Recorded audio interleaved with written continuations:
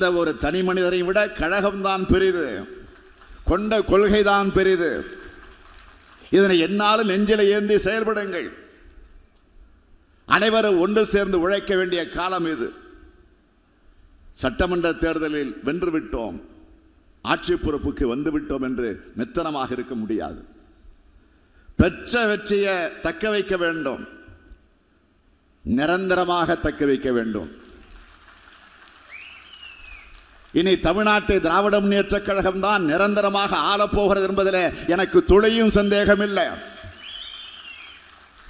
நம்மை விட நாட்டு மக்கள் அதில் உறுதியாக இருக்கிறார்கள். சட்டமன்ற தேர்தலுக்கு முன்பு இருந்ததை விட கழகத்தின் செல்வாக்கு என்பது பொதுமக்களிடையே அதிகமாக இருக்கிறது. இதுதான் எனக்கு பயத்தை கொடுக்கிறது. கழகத்தின் செல்வாக்கும் என் மீதான நம்பிக்கையும் மக்களிடையே உயர உயர மக்களிடம் பெற்றிருக்கக்கூடிய இந்த நற்பெயரை காப்பாற்ற வேண்டும் என்பதும் இந்த நம்பிக்கையை தக்க வைக்க வேண்டும் என்பதுதான் என்னுடைய சிந்தனையாக இருக்கிறது.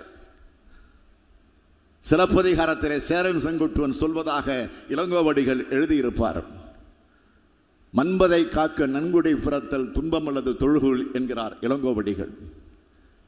எது வந்தாலும் பொறுப்பேற்க வேண்டியவன் மன்னன் தான் எனவே பதவியில் துன்பமே தவிர இன்பம் அல்ல என்கிறார் இளங்கோவடிகள். மழையே பெய்யவில்லை என்றாலும் என்னைத்தான் குறை சொல்வார்கள் அதிகமாக மழை பெஞ்சிட்டாலும் என்னைத்தான் குறை சொல்வார்கள் பல்வேறு பக்கங்களிலிருந்து வரக்கூடிய பல்முனை தாக்குதலுக்கு பதில் சொல்ல கடமைப்பட்டவன் நான். ஒரு பக்கம் திராவிட முன்னேற்ற கழகத்தினுடைய தலைவர் இன்னொரு பக்கம் தமிழ்நாட்டினுடைய முதலமைச்சர். மத்திரத்திற்கு ரெண்டு பக்கமும் அடி என்பதை போல இருக்கிறது என்னுடைய நிலைமை.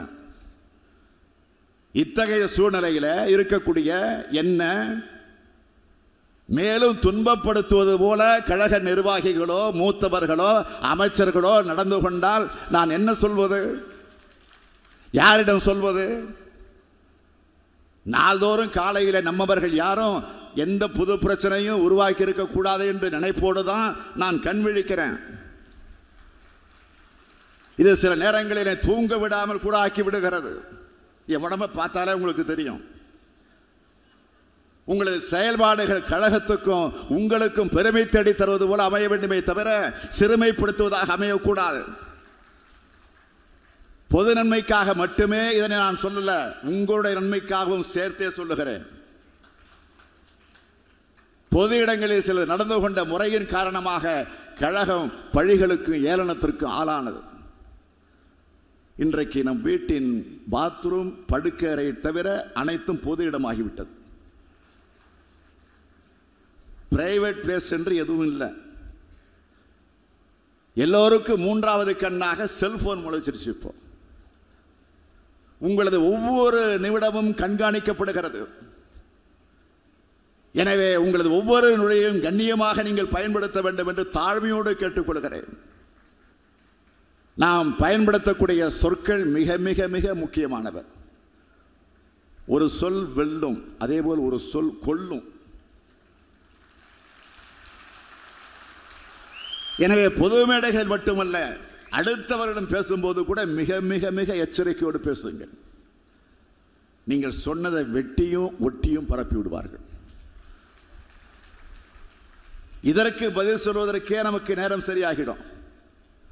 பிறகு எப்படி மக்கள் பணியை நான் பார்க்க முடியும்? இப்படி நம்முடைய கவனத்தை திசை திருப்புவதுதான் எதிரிகளுடைய ஒரே நோக்கம்.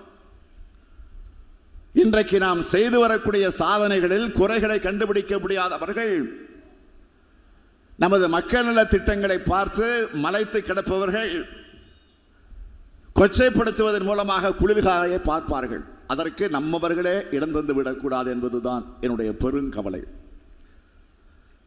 திராவிட மாடல் என்று சொல்ல இந்தியாவினுடைய கவனத்தை ஈர்த்து விட்டது.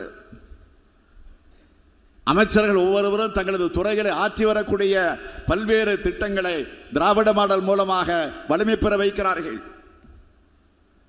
எத்தனையோ இரவு புகழ் திட்டமிட்டு ஒரு திட்டத்தை தீட்டுகிறோம். பல்லாயிரம் கோடி பணம் அதற்காக செலவு செய்யப்படுகிறது. பல்லாயிரக்கணக்கான அதிகாரிகள் அலுவலர்கள் பணியாற்றுகிறார்கள். நிதி நிலைமை மட்டும் கொஞ்சம் சீராக இருந்திருக்குமே ஆனால் இன்னும் பல திட்டங்களை நூறு திட்டங்களை நாம் தீட்டியிருப்போம். ஒவ்வொரு மனிதரையும் ஏதாவது திட்டம் சென்று சேர்ந்திருக்கு. அந்த அளவுக்கு அனைவருடைய வீடுகளுக்கு நன்மையை செஞ்சுக்கிட்டு இருக்கிறோம். இத்தகைய சாதனைகளை மக்களுக்கு நினைவூட்டிக் கொண்டே இருக்க வேண்டும்.